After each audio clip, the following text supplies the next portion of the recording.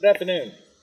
While the weather is warming up here in spring and summer is rapidly approaching, the days are getting longer, getting nicer outside, and it's a given that more motorcycles are going to be on the road.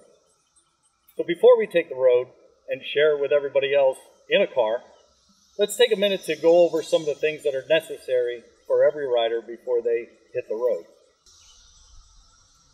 So prior to riding, what every rider should get in the habit of is doing something called T-clock. T-clock stands for tires, control, lights, oil, chassis, and stand. After you complete your T-clock, the next thing you should do is start thinking about your personal protective gear. Long sleeve shirts, gloves, good riding boots, uh, a durable type of pant, and the best thing to have is actual kind of riding jacket. They make them for both spring, summer, fall, and winter, actually. And to protect that brain is a DOT approved helmet. Once your bike is ready and your clothing's ready, so basically you're ready, you also need to plan your route and also watch the weather. Weather could be a big hazard for you.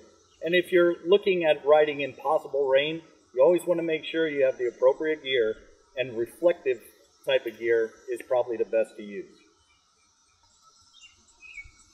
So why is motorcycle safety important to me? In the last year and a half, I've lost four friends. So if you're not a motorcycle rider, please be aware that the motorcycles are everywhere. They're everywhere now, in the summer, fall, and if you're like me, you're riding in the wintertime too. We're out there. And if you are a rider, Make sure your motorcycle and your equipment is ready. Make sure you have the proper personal protective gear. And also make sure you're mentally and physically ready to ride. Don't drink and drive. That's kind of important both in vehicles, but even more so on one of these machines. They uh, are not very forgiving when it comes to mistakes. Now that we've covered everything you need to know before your ride, let's ride safe, ride smart, and have fun out there.